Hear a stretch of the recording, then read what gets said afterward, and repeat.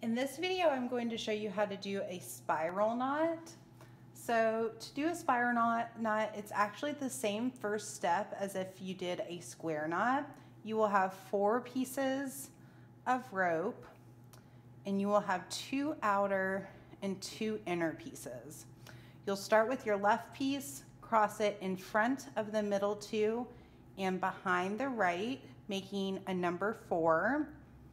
Then you're going to take your right piece and go behind the middle two and in front of the left and you'll pull it through.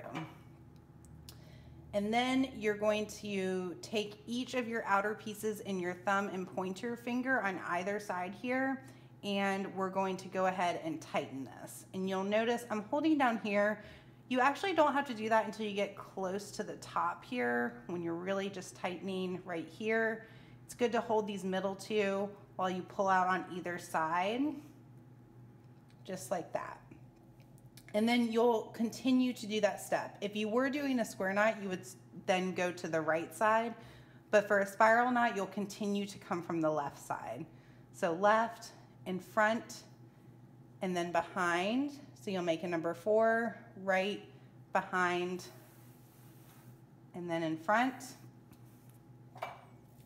and then tighten, and then again, left and front, behind, number four, right, behind, and front.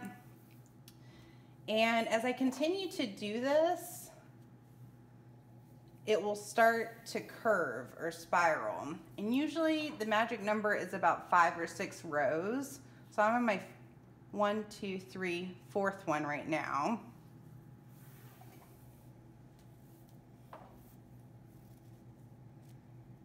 Now I'm on number five. I'm going to do one more. Number six. So it's gone from facing me head on here to facing towards the right here. So what I'm going to do, I've been knotting in the front like this. I'm going to take it and I'm going to turn it the rest of the way and then I can continue to do my spiral knotting. So now I'm gonna take this piece. Yes, this was the piece that was on the right before, but now it's on the left side. Left in front, then behind, make my number four, right, behind, and then in front.